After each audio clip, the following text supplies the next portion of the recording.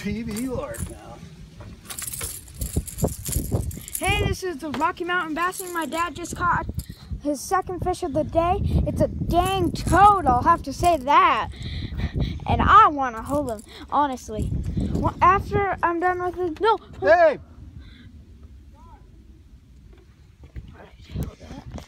Alright. Oh, Oh God, that's heavy. it is. That's that.